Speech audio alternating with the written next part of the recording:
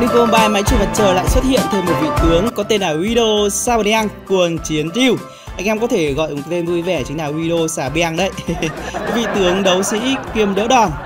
Có đến hai cái mạng rất đặc biệt với kỹ năng đặc biệt như thế này.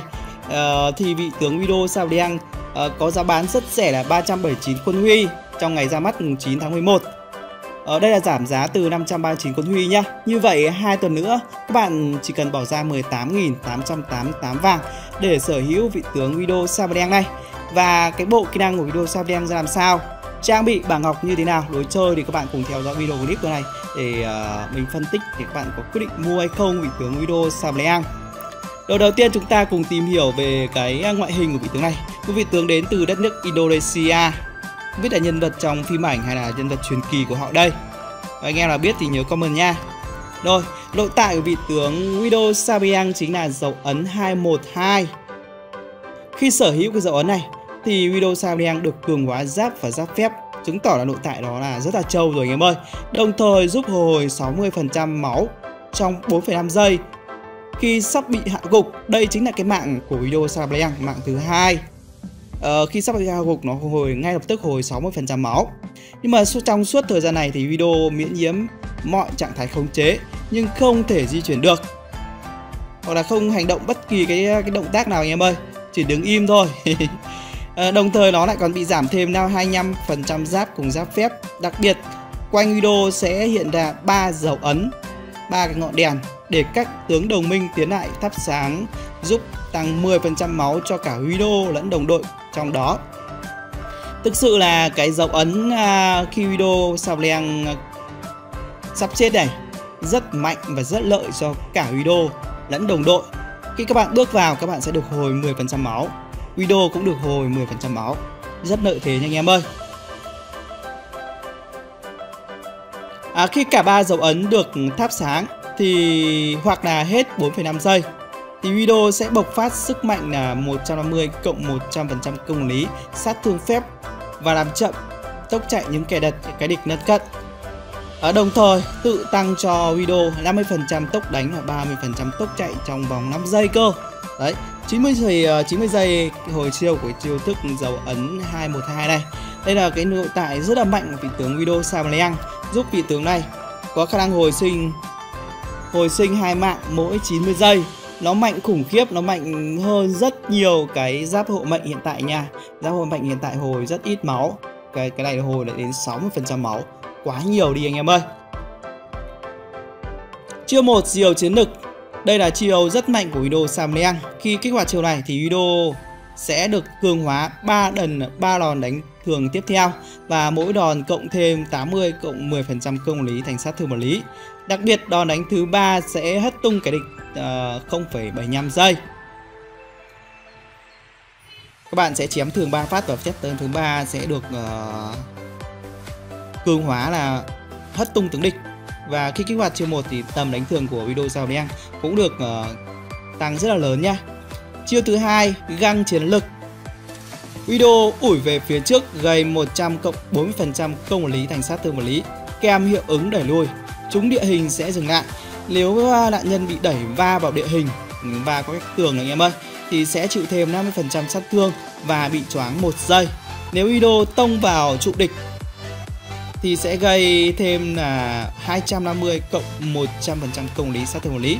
Các bạn thể thấy là cái khả năng phá trụ của Ido xào leng rất là tốt với chiêu thứ hai, găng chiến lực và đây chiêu khống chế rất tốt, có thể đẩy đẩy đẩy đẩy đấy gần như những chiêu đẩy của thêm anh em ơi chiêu cuối cùng thần lực 212 không biết 212 ý nghĩa như nào mà nó gắn liền với video nhỉ anh em ơi? Các bạn biết nhớ comment nha. Video vận sức tung rìu dày 300 cộng 256 sát thương lý kèm một giây hất tung kẻ địch lân cận. Và thời gian tụ lực tỷ lệ với sát thương và phạm vi ảnh hưởng. Và tối đa lên đến 1000 cộng với 256 sát thương lý. Như vậy các bạn uh, giữ cái chiêu cuối này càng lâu thì cái tầm phạm vi ảnh hưởng của chiêu cuối sẽ rộng hơn và sát thương càng khủng khiếp hơn. À, mỗi nhận nạn nhân rơi xuống sẽ tạo chấn động gây thêm 50% sát thương vật lý lên kẻ địch lân cận.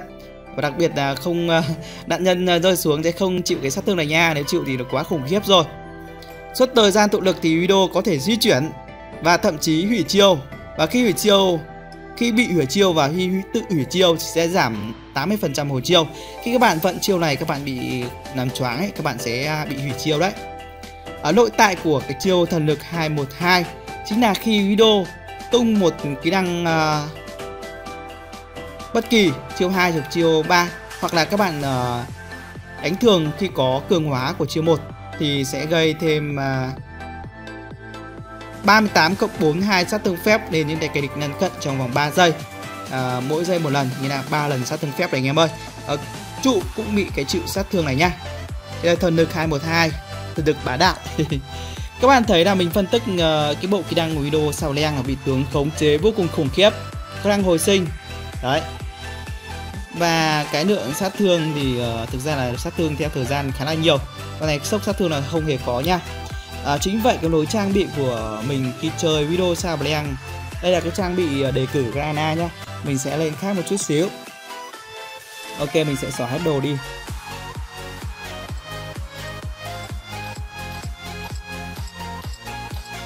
Rồi, và con video sao leng thì đầu tiên các bạn rất cần món đồ áo choàng thần ra. Đây là món đồ rất cần thiết của video sao leng ở cái vị trí đầu tiên. Giúp video ra sao leng farm tốt hơn khi các bạn đi solo đường. Đồ tốc chạy thì mình khuyên dùng anh em lên giày hộ vệ. Uh, Cái con này khi các bạn uh, bị uh, vào cái trạng thái là mất cái nội tại đấy Nên các bạn uh, sắp chết đấy thì sẽ uh, giảm bị giảm ở giáp phép và giáp Thành ra cái tỷ lệ biến thương rất là cần thiết đối với video xào leng. Uh, Tất nhiên mình sẽ trình bày anh em phong cách chơi video xào leng uh, thủ trước. Với phong cách này mình thấy là chơi nó dễ hơn. Với cái bộ kỹ năng của vị tướng này không hề dễ dùng đâu nha ở đồ tiếp theo đó là món đồ uh, thủ cho video Sabliang Một món đồ giúp video Sabliang hồi chiều rất là tốt. Rồi, sau đó là cái uh, Giáp Gaia anh em ơi. Rồi, tiếp theo mình xem thêm một đồ thủ cho video Sabliang Chính là món đồ uh, giáp thống cổ. Đồ cuối cùng uh, đó là cái giáp hộ mệnh. Uh, Cái giáp Gaia giúp video sao len có đang hồi phục máu này. Có tốc chạy này con này rất là cần tốc chạy nha các bạn ơi. Bởi vì nó không có những kỹ năng uh, uh, bay nhảy. Có mỗi chiều uh, ờ, hai là lướt thôi. Còn là các bạn có thể đổi huân trong choi cho cái giáp A. Đây là cái sự chọn những cái bạn thích nhiều hồi chiêu hơn. Đây là trang bị phòng thủ uh, phong cách uh, đấu sĩ đỡ đòn đầu tiên của Ryo Saliang phong cách thứ hai đó là phong cách các bạn đi hỗ trợ cho team. Rồi Tất nhiên là các bạn cần cái lệnh bài phong thần cho mình rồi. Đó. Sau khi lệnh bài phong thần xong Thì các bạn sẽ lên một đồ tủ tiếp. Đó là cái uh, áo choàng thần ra Bởi vì áo choàng thần ra rất cần thiết với video Savaliang Rồi tiếp đó các bạn sẽ lên cái à, uh, huân chương choi. Huân chương choi xong thì các bạn lên cái khiên huyền thoại nha. Và đồ cuối cùng là các bạn lên cái giáp hộ mệnh. Đây là cái trang bị đi uh, phong cách hỗ trợ của video Savaliang khi mà hết cái uh, hết cái hiệu ứng của giáp hộ mệnh hai lần thì các bạn bán đi các bạn lên cái giáp cái A cho mình nhá. Kiểu trang bị thứ ba là hướng dẫn các bạn chính là trang bị nhiều sát thương hơn. Đồ thì các bạn nhìn như sau. Ờ, vẫn đầu tiên là cái áo choàng tần ra nha đồ tốc chạy uh, sẽ là giày hộ vệ này. Tiếp theo là các bạn nên một đồ uh, thủ chính là khiên huyền thoại. Rồi uh, huân chương cho. Ờ, công tiếp theo là mình sẽ lên cái kiếm Ramasa đối thủ cuối cùng sẽ là cái giáp hộ mệnh anh em ơi. Đấy, đây là kiểu đồ thứ ba dành ờ, cho video Samleang Như vậy chúng ta có ba kiểu đồ dành cho vị tướng này. Ok, ở vị tướng này rất cần cái chỉ số tốc đánh và tốc chạy nha. Đầu tiên là nghĩ ngọc đỏ mình sẽ sử dụng bảng ngọc ba nhau ba dòng.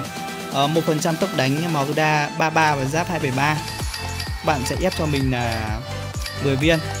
Ngọc tím sẽ là 1% tốc đánh, 1% tốc chạy. Ngọc lục các bạn sử dụng bản ngọc công bật lý và giam nha.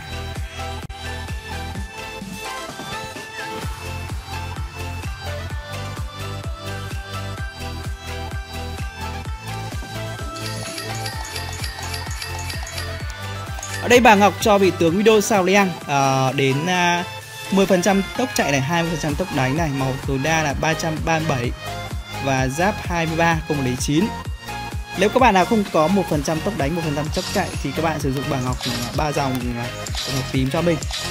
Đó là ngọc máu tối đa hồn máu và tốc chạy. Cái ngọc này sẽ cứng cáp hơn nha anh em ơi. Đó chỉ có hai kiểu bôi ngọc à, cho video sao leng mình à, muốn hướng dẫn đến các bạn thì thôi ngọc này thì tốc chạy ít hơn nhưng mà lại à, cứng cáp hơn và hồi phục tốt hơn.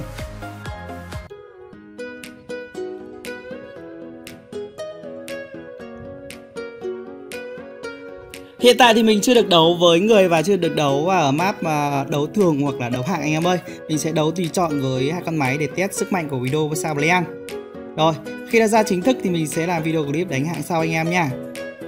Và gặp ngay thanh niên Maloc với thanh niên Ignite. mà lốc thì rất là trâu rồi, tí thì sát thương cứ xả kỹ năng liên tục. Ở chính vậy ờ, giai đoạn đầu game thì mình ờ, phải lợi dụng cái trụ chút xíu đã. Hất choáng rồi đẩy vào trụ. Đấy. Cái chiêu hai là đẩy đẩy đẩy dầu nhất đây giống chiêu một của Thên anh em ơi. Ở kích hoạt chiêu một thì các bạn sẽ được cộng thêm sát thương của đánh thường và chém rộng hơn rất nhiều nha. Chiêu cuối các bạn vận rất chiêu rất lâu này trong thả chiêu ra này. Đấy. Choáng rất lâu và sát thương rất nhiều và nhớ là khi các bạn uh, sử dụng một kỹ năng bất kỳ hoặc là cường đánh thường ở chiêu thứ nhất thì sẽ có sát thương phép gây ra xung quanh.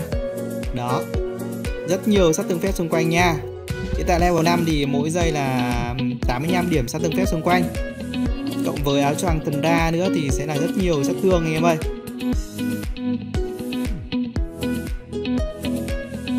À, Chú ý là đẩy mục tiêu vào tường này. Đấy, có thêm một giây làm choáng nữa.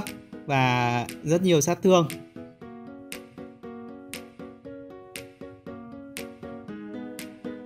Ở con này thì khó ở điểm là các bạn đẩy chiếu 2 chuẩn xác thôi. Là ném mẹ làm sao là các bạn đẩy tướng địch vào tường. Hoặc đẩy vào trụ. Đấy, các bạn dùng chiêu hai lên trụ có thể gây sát thương lên trụ này. Đồng thời vẫn có thể đốt sát thương phép lên trụ ở cái à, nội tại chiều cuối. Ở Thần lực 212 đấy.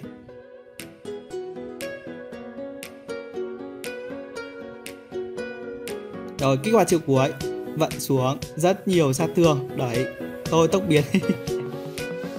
Đẩy hơi ngu người là mình còn yếu máu mình đẩy vào trụ. Rồi các bạn thấy là khi uh, bị uh, gần tiêu diệt thì mình lập tức hồi sinh và tiếp tục chiến đấu với có thêm là tốc chạy và tốc đánh rất nhiều. À, mặc dù lên đồ thủ thôi, anh em có thể thấy là sát thương vẫn rất là nhiều nha, không hề ít đâu.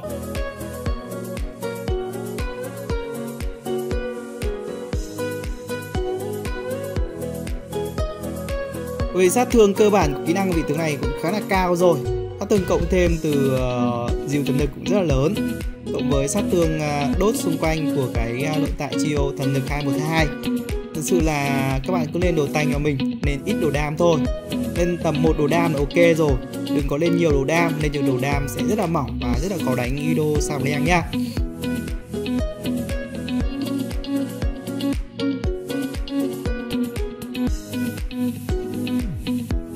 Tất nhiên thì hiện tại mình mới test được những trang bị thế này thôi. Sẽ test thêm nhiều trang bị để các bạn tham khảo uh, chất tướng hơn. Mình nghĩ là đây là những trang bị à, khá là hợp lý với video sao leng rồi.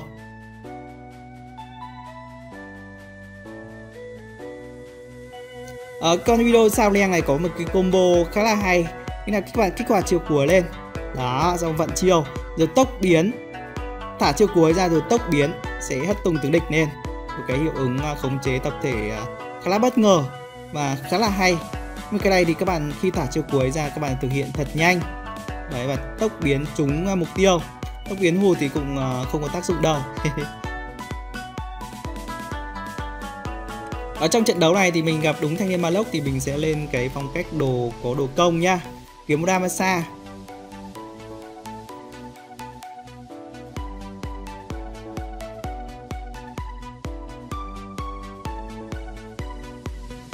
đẩy vào tường choáng và có thêm sát thương rất là lớn nha. Vì tốc biến ạ thả chiêu tốc biến. Ơi nhưng mà không đến. Đấy các bạn có thể thấy đấy là có thể thực hiện được uh, cuối video clip mình sẽ để một đoạn thao tác chuẩn xác để các bạn sẽ thấy rõ hơn cái combo là uh, giữ chiêu cuối này uh, thả chiêu cuối này rồi tốc biến.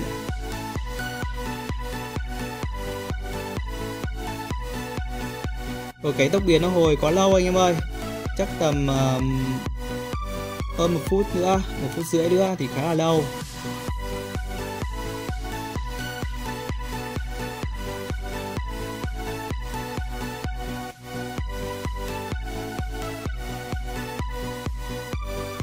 Ở chất tướng đôi đòn đấu sĩ, nhưng mà sát thương thì kỹ năng này rất là nhiều. Có cả sát thương đốt, ô. Oh. và hôm nay mình sẽ giới thiệu anh em một ứng dụng rất hay, ứng dụng có tên là Hubo, sẽ giúp các bạn tìm kiếm những người huấn luyện viên, bạn bè cùng chơi để chơi với mobile tốt hơn và tất nhiên ứng dụng này sẽ tính phí nha anh em ơi à, ứng dụng uh, chi tiết thì các bạn sẽ xem ở phần cuối video của mình Hubo cùng chơi game là ứng dụng tuyệt vời để giúp bạn tìm kiếm dễ dàng những người đồng đội dễ thương và đầy tài năng chỉ bằng vài thao tác đơn giản. Hello mọi người, đặt hẹn leo rank của mình nhé. Cơ hội trở thành một trong những huấn luyện viên cực dễ thương và đẳng cấp đến từ Hubo. Tiện lợi, bổ ích và thân thiện. Còn chờ gì nữa? Hãy tải Hubo trong ngày hôm nay đi nào!